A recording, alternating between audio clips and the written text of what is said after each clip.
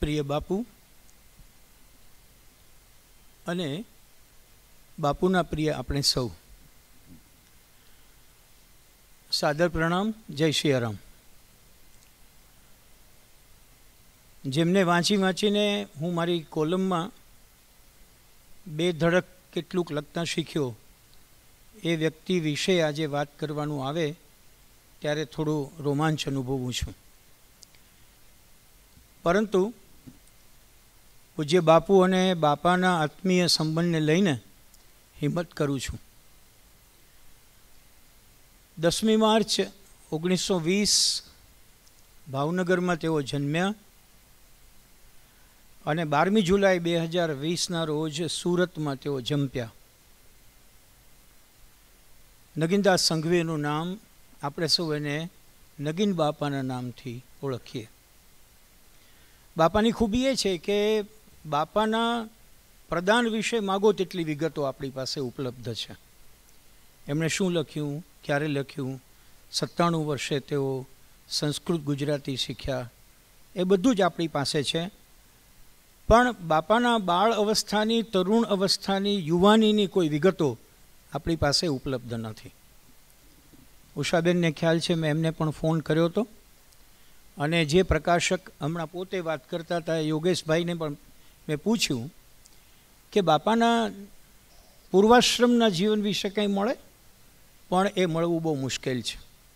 મને કદાચ એવું લાગ્યું કે ઈશ્વરની એવી ઈચ્છા હશે કે બાપા એના પ્રદાનથી જ આપણને સૌને ઓળખાય. એમના કોઈ ભૂતકાળના જીવન પ્રસંગોને લઈને બાપા આપણા મનમાં ન બેસે. મુદ્દો એવો છે કે આમ તો આપણે બહુ સારી રીતે ઓળખીએ છીએ, જાણીએ છીએ કે પ્રાધ્યાપક હતા પ્રાચાર્ય હતા, પદ્મશ્રી હતા. આવા અનેક ટોડલા એના ચાકડા ઉપર લાગેલા આપણા નવીન, નગીન બાપા હતા. પણ હમણાં ભાઈ યોગેશભાઈએ જે વાત કરી એનો એક સંબંધ બાંધવા જેવો છે કે ભણવાનું પૂરું કરીને નગીન બાપાએ જીવનની પહેલી નોકરી ત્રીસ રૂપિયાના પગારથી એક એડવર્ટાઇઝિંગ એજન્સીમાં ટાઈપિસ્ટ તરીકે કરી હતી. કદાચ એ વખતનું ટાઈપિસ્ટ હોવાનું એમને જે જ્ઞાન હતું, કે જે અનુભવ હતો, એ એને સત્તાણું વર્ષે પણ પ્રેરણા આપી ગયો કે આપણે સંસ્કૃત ગુજરાતીમાં હજુ ટાઈપ શીખી લઈએ.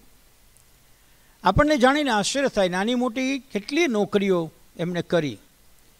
પણ પછી તેઓ મુંબઈ ભણી ગયા અને મુંબઈમાં જઈને એમણે શિક્ષણને પોતાનો મૂળ આધાર તરીકે સ્વીકાર્યો. ઓગણીસો એકાવનથી લઈને ઓગણીસો એંસી સુધી મુંબઈની ત્રણ માતબર કોલેજોની અંદર નગીનભાઈ પ્રાધ્યાપક રહ્યા. પોલિટિકલ સાયન્સ અને ઇતિહાસ એમણે ભણાવ્યું. ભવન્સ કોલેજ અંધેરી, રૂપારેલ કોલેજ માહિમ અને મીઠીબાઈ કોલેજ વિલે પાર્લે.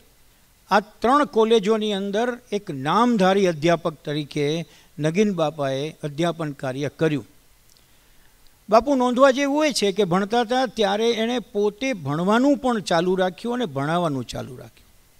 સામાન્ય રીતે આજના સંજોગોમાં ભણાવવાનું શરૂ થાય, પછી ભણવાનું બંધ થઈ જતું હોય છે. પણ બાપા સાથે સાથે ભણતા ગયા અને એના ફલસ્વરૂપે એમણે એ સમયથી જ છાપામાં લખવાની શરૂઆત કરી. એટલું બધું નિયમિત નહોતું શરૂ થયું. ઓગણીસો એકાવનથી પણ ઓગણીસો ને પાસઠમાં સૌથી પહેલી કોલમ એણે ગુજરાત મિત્રમાં શરૂ કરી અને ઓગણીસો ને પાસઠથી લઈને બે હજાર વીસ સુધીનો પંચાવન વર્ષનો ગાળો બાપાએ સતત લેખીની સાથેના સંબંધથી વિતાવ્યો. એવો અંદાજ છે યોગેશભાઈએ માંડેલો છે, કે આ પંચાવન વર્ષના ગાળાની અંદર બાપાએ નહીં નહીં તો બે લાખ પાનાનું ઉત્તમ સર્જન કરીને આપણને સૌને લાભાન્વિત કરેલા છે. ઓથેન્ટિક મટીરિયલ જોતું હોય તો ક્યાંથી મળે? કોઈ પણ વિષય ઉપર તમને લેખ ઘણા મળી શકે, માહિતી ઘણી મળી શકે. વિકિપીડિયામાં પુષ્કળ હોય, પણ વિકિપીડિયામાં નીચે નોંધ હોય છે કે આમાં તમારે ફેરફાર કરવો હોય તો તમે પણ કરી શકો છો. એટલે ઓથેન્ટિક નથી હોતું. પણ ઓથેન્ટિક મટીરિયલ કોઈનું જોઈતું હોય તો એ તમને નગીન બાપા પાસેથી મળે અને બે લાખમાંથી આપણી પાસે આવેલા કેટલાક પૃષ્ઠો આપણને મદદરૂપ થઈ શકે. મને ખાસ અહીં ધ્યાન દોરવાનું મન થાય કે એની કોલમ દરમિયાનના જે કોઈ લેખો લખાણા, એ તો અભ્યાસપૂર્ણ લખાણા જ. પણ એમની અંદર એમણે ધીમે ધીમે પ્રસ્તુતિની એક પ્રકારની માસ્ટરી પ્રાપ્ત કરી. માસ્ટરી એટલે એમના માત્ર લેખના કેટલાક ટાઇટલ વાંચીએ અથવા ટાઇટલ સાંભળીએ, તો જ આપણને ખ્યાલ આવે કે આવા ટાઇટલ જ બાપા આપી શકે. આપણા આગેવાનો અક્કલહીન છે. હું બાપાએ લખેલા કેટલાક લેખના ટાઇટલ બોલું છું. આપણા આગેવાનો અક્કલહીન છે. ગરીબ દેશના શ્રીમંત શાસકો. આવો મૂડી વાત સિવિલ વોર ન નોતરે તો સારું. આપણે હજુય ભારતીય બન્યા નથી લાગતા. અદાલતી વ્યવસ્થા ઉથલ પાથલના આરે છે. સંસદમાં ધમાલ પ્રજાના અવગુણોનું પ્રતિબિંબ છે. એનજીઓ સેવા કરવાનો વ્યવસાય છે. આ કેટલાક ટાઇટલ આપણને સૂચવે છે કે એમણે ધીમે ધીમે કરતાં એવી માસ્ટરી પ્રાપ્ત કરી કે એમને જે કહેવું હોય તો લગભગ એનું મૂળ ટાઇટલ કહી આપે અને કેટલુંક સબ ટાઇટલ વાંચો એટલે તમારી પાસે આખા લેખનું જિસ્ટ આવીને ઊભું રહી જાય. આ બાપા મુંબઈ ગયા ત્યારથી કાંદીવલી સાથે એમનો સંબંધ અને આપણા એક સમર્થ સાહિત્યકાર દિનકર જોશી નોંધે છે કે કાંદીવલીની જીવા દેવસીની ચાલ અથવા તો કાંદીવલીના કમલા નહેરુ રોડ ઉપરનું એક નાનકડું મકાન એની અંદર બેસીને જ્યારે અમે ગોષ્ઠી કરતા ત્યારે મને લાગતું કે મારાથી થોડી ઉંમરમાં મોટી એવી આ વ્યક્તિ મારા કરતાં કેટલી બધી આગળ નીકળી ગયેલી છે. આપણને આશ્ચર્ય થાય બાપુ કે એમણે નોંધ્યું છે કે જ્યારે હું નગીન બાપા સાથે બેસીને કોઈ વિકટ પ્રશ્નની ચર્ચા કરતો, ત્યારે હું જે સમજીને ગયો હોઉં, એનાથી પૂર્ણપણે એન્ટી ક્લોકવાઇઝ મને સમજાવીને એ બહાર મોકલી શકતા હતા. અને છેલ્લી મિનિટ સુધીની એમની સતર્કતાનો કિસ્સો એમણે કહ્યો. દિનકરભાઈ કહે કે તેમની વિદાયના થોડા મહિનાઓ બાકી હતા અને થોડા મહિનાઓ બાકી હતા એ દરમિયાન એકવાર બાપાનો ફોન આવ્યો અને બાપાએ કહ્યું કે મહાભારત ઉપર એક લેખ લખું છું અને આ લેખમાં એક સંદર્ભ માટે થઈને એક વાક્ય ખૂટે છે. તમે મદદ કરી શકો. દિનકરભાઈએ તરત જ પુસ્તકનું નામ આપ્યું. દિનકરભાઈને ઓળખતા હશે એને ખ્યાલ છે. કે એ પણ બહુ અભ્યાસુ લેખક છે. એમણે કહ્યું કે આ પુસ્તકમાંથી સંદર્ભ મળે, બાપાએ સામે પ્રશ્ન પૂછ્યો, પુસ્તક ક્યાંથી મળે? તો પુસ્તક મારી પાસે મળે. મોકલાવી દઉં? તો કે મોકલવું નથી. હું રૂબરૂ આવીશ. અને સુરતથી મુંબઈ પહોંચ્યા. મુંબઈ પહોંચીને સીધા એ કાંદીવલીની દિનકર જોશીની ઓફિસે પહોંચ્યા. બેઠા વાતચીત થઈ. દિનકરભાઈએ કહ્યું, પુસ્તક અહીંયા નથી, ઘરે છે. તમે મને કહ્યું હોત તો લેતો આવત. તો કે ચાલો, તમારે પૂરું કરવાનો સમય છે, ઉઠો, આપણે તમારે ઘરે જઈએ. અને અમે બંને ઘરે ગયા, પુસ્તક એના હાથમાં મૂક્યું, એટલે એક બાજુ ટીપાઈ ઉપર બેસીને એણે પાનાઓ ઉથલાવ્યા કેટલું ઝીણી આંખે વાંચ્યું કેટલું નોંધ્યું, કામ પૂરું થયું, એટલે પુસ્તક હાથમાં આપીને એણે કીધું, હવે હું નીકળું.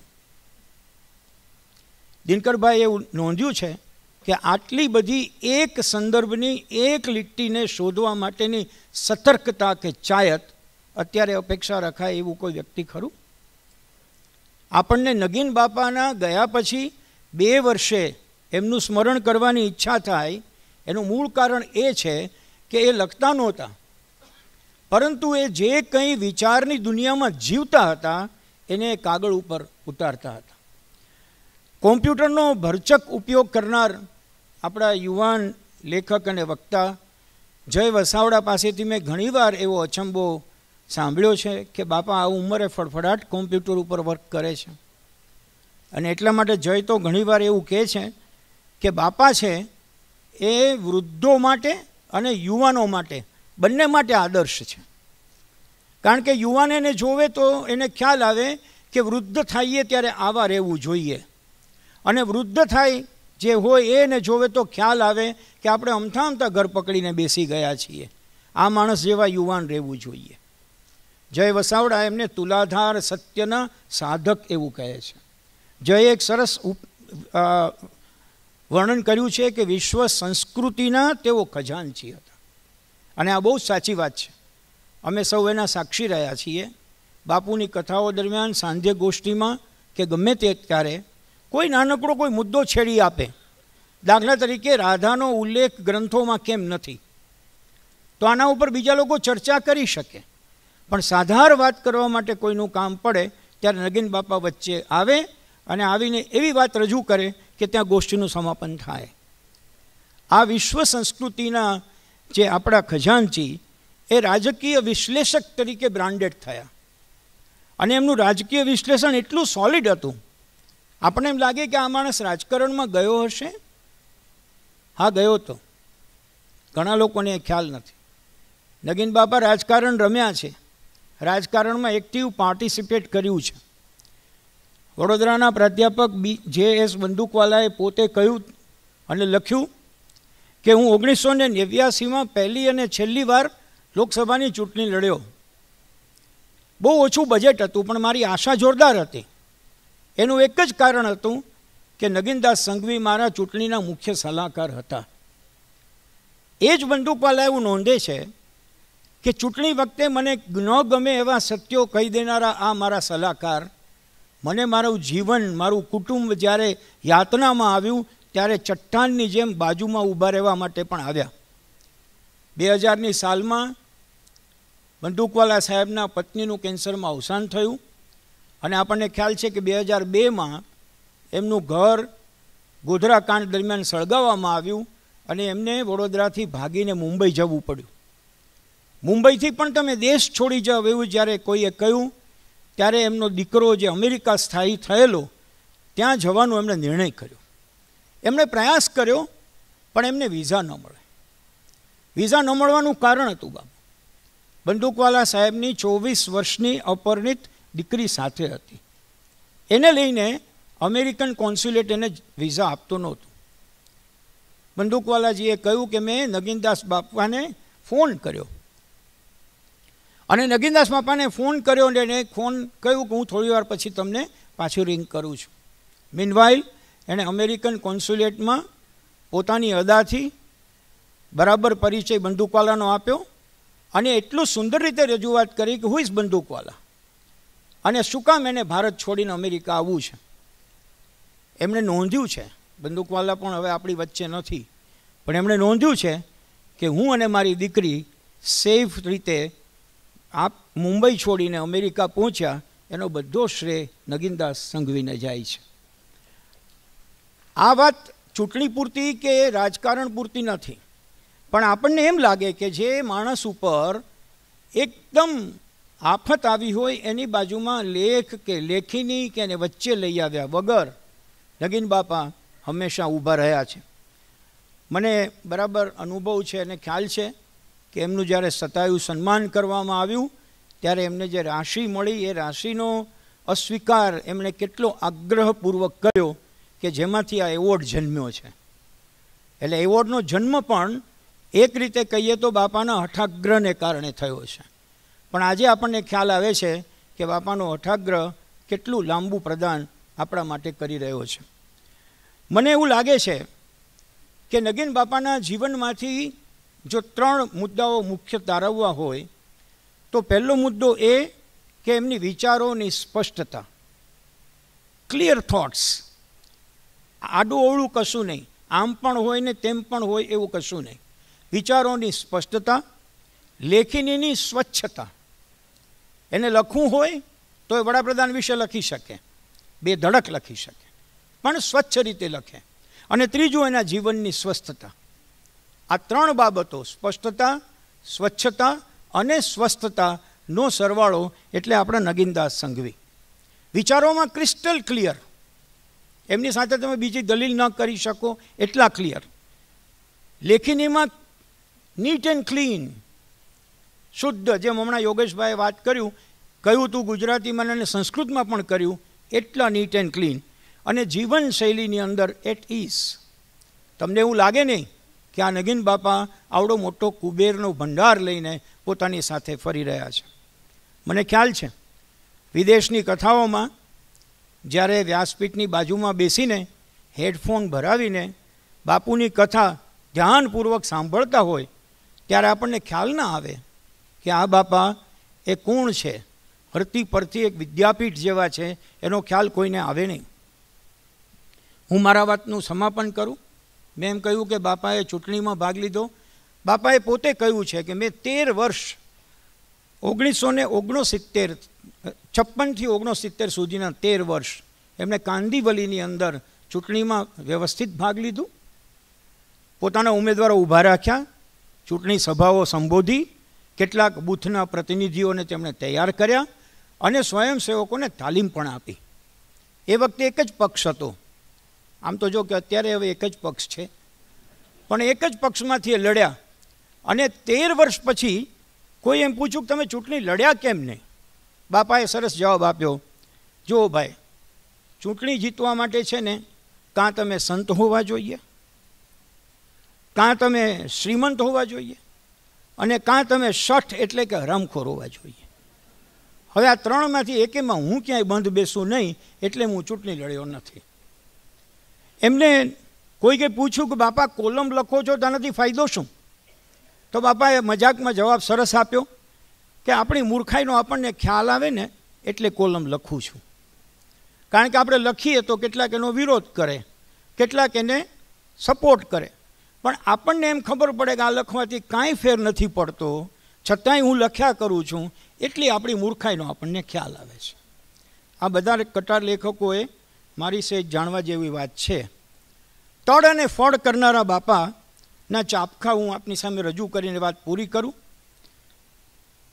આપને જાણીને આશ્ચર્ય થશે. સુરતમાં બે હજાર ઓગણીસમાં બિફોર કોરોના પદ્મશ્રી મળી ગયા પછી આજના પ્રદેશ પ્રમુખ સી આર પાટીલ મેઇન લાઇનમાં બેઠા છે. ત્યારે નગીનદાસ બાપાએ કરેલું વિધાન છે. એમને પૂછવામાં આવ્યું કે તમે લોકશાહી કોને કહો છો?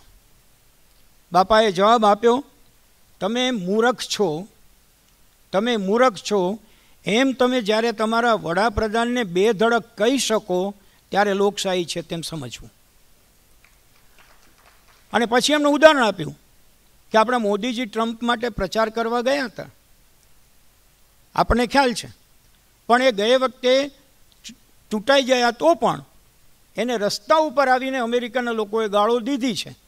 તો ત્યાંની લોકશાહી વધુ સ્વસ્થ છે. આપણી જેમ કોઈની ઉપર રાજદ્રોહના કેસ કોઈ દાખલ કર્યા નથી પદ્મશ્રી મળી ગયા પછીની આ વાત હતી. પહેલાં સાવચેતીથી બોલ્યા હોય એવું માનવાને કોઈ કારણ નથી. ગાંધીજી માટે એમને અપાર પ્રેમ હતો. એમણે બહુ અનેક વખત લખ્યું અને એમ પણ કહ્યું કે ગાંધીજીના સમયની અંદર રાજકારણમાં જે લોકો આવ્યા એ બધા જ લોકો ગીવર હતા, આપવાવાળા હતા. અને ગાંધી પછી જેટલા આવ્યા છે ને આવે છે, એ બધા જ ટેકર્સ છે, લેવાવાળા આવ્યા છે. પરિણામે આપણે જોખમમાં જઈએ. પ્રણવ મુખર્જીના ની સરખામણીમાં રાજીવ ગાંધીને વડાપ્રધાન બનાવ્યા એ વખતે એમણે એક લેખ લખ્યો હતો. એ લેખ બહુ સનસનાટી મચાવી હતી અને એમના ઉપર વિરોધ પણ ઘણો થયો હતો. ત્યારે એમણે સ્પષ્ટ વાક્ય લખ્યું હતું કે પ્રણવ મુખર્જીની સલામ તુલનામાં રાજીવ ગાંધી છે એ બિલકુલ બેવકૂફ માણસ છે. પછી એમણે લખ્યું હતું કે બેવકૂફની વ્યાખ્યા સમજવા જેવી છે. સત્તા કે પૈસો? ત્રણ પેઢી જ્યાં ટકે, ત્યાં પછીની પેઢી બેવકૂફ જન્મતી હોય છે. આ વાક્ય આપણે બેસીને વિચારશું તો આપણને ખ્યાલ આવશે કે એમણે પહેલું વાક્ય ઉચ્ચાર્યું ત્યારે એણે કેટલું વિચારીને વાત કરી હશે. સૌને યાદ હશે કે નહેરુ વિશેના કેટલાક મંતવ્યો આદરણીય ગુણવંત શાહે જ્યારે પ્રેસમાં લખ્યા, ત્યારે બાપા એ જ છાપામાં ગુણવંતભાઈની સામે પણ લેખનથી જંગમાં ચડ્યા હતા. અને એ પણ નોંધવા જેવું છે કે બાપાની હાજરીમાં રાજકોટમાં એક એવોર્ડ ગયે વખતે કોરોના પહેલાંનો બાપાની હાજરીમાં આ જ એવોર્ડ ગુણવંત શાહને અર્પણ કરવામાં આવ્યો હતો. આ નિખાલસતાની પાકે પાકી પારાશીસી આપણી સમક્ષ છે. બાપુ, છેલ્લી વાત કરું. મને એવું લાગ્યું છે કે બાપા ખાલી રાજકીય વિશ્લેષક નહોતા કે લેખક નહોતા, એ ફ્યુચરોલોજિસ્ટ પણ હતા. એવા ઘણા કિસ્સા છે, હું એક નોંધું. એમણે બે હજાર સત્તરમાં એક લેખ લખ્યો ને એમાં લખ્યું હતું કે મને ગુજરાતનું ભાવિ બહુ ધૂંધળું લાગે છે. રાજકીય રીતે નહીં. કારણમાં માને લખ્યું કે ગુજરાત સમૃદ્ધિ તો નમોને લઈને ભેગી કરી રહ્યું છે. પણ સંસ્કારનું શું? સમૃદ્ધિ આવશે દિલ્હીથી. સંસ્કાર ક્યાંથી આવશે? અને પછીનું વાક્ય, દિવસે ને દિવસે ગુજરાત ડ્રગની અંદર ખૂંચી રહ્યું છે અને ખૂંપી રહ્યું છે એ આપણે ભૂલી ગયા છીએ. આજકાલની દુનિયામાં આપણને ખબર છે કે ડ્રગ શું મોટું તોફાન મચાવી રહ્યું છે. અને બાપાના કહેવા પ્રમાણે એ શબ્દોમાં એમણે પાકે પાકી વાત સ્પષ્ટ કરી હતી. એમની એક વધુ સ્પષ્ટ વાત તમને કહું. એમણે કહ્યું કે માત્ર વ્યસન મુક્તિ કરવાનું કામ આ કચ્છ અને કાઠિયાવાડમાં કોઈ એક જ વ્યક્તિએ કર્યું હોય, તો ત્રીસ વર્ષની અંદર સહજાનંદ સ્વામીએ કર્યું છે. આ સ્ટેટમેન્ટ કર્યા પછી બાપાએ તરત જ નાનકડું સ્પિન બોલને રમતા હોય એમ કહ્યું કે આજના સ્વામિનારાયણવાળા છે, એના સહજાનંદ નહીં હો. એ બધા તો સહજાનંદ સ્વામીને એક બાજુ મૂકીને આગળ નીકળી ગયા છે. હું તો એ ત્રીસ વર્ષવાળા સહજાનંદ સ્વામીની વાત કરું છું. આ વાત એટલા માટે મેં આપની સમક્ષ મૂકી કે ઘણી વખત વ્યક્તિ જાય, ત્યારે આપણે કહેતા હોઈએ છીએ કે એની જગ્યા કેમ પૂરાશે? મને તો એવું લાગે બાપુ, આવી વ્યક્તિત્વ જ્યારે ગેરહાજર થાય, ત્યારે એની જગ્યા ન પૂરાય એનો આનંદ હોય છે. મારી સાથેના તેઓના અંગત બાબતો હું નથી લેતો. એક નાનકડું સ્મરણ કરી લઉં. પ્રેમ મંદિરે કૌશિકભાઈ સાથે જ બાપા પધારતા. ત્યારે એક વખત જમતા જમતા એમણે મારા પત્નીને પૂછ્યું કે, તમે પ્રેમ લગ્ન કર્યા છે? તો કે, હા. તો પહેલ કોણે કરી હતી? એટલે મારા પત્નીએ કીધું, બંને. તો કે, તમે નાગર મુત્સદી જેવો જવાબ ના આપો. સાચું કહી દો એટલે એણે કીધું, જીત તો મારી જ હતી. તો કે, સારું થયું જીત કરી તે. તમે આ માણસને સાચવી લીધો. Thank you very much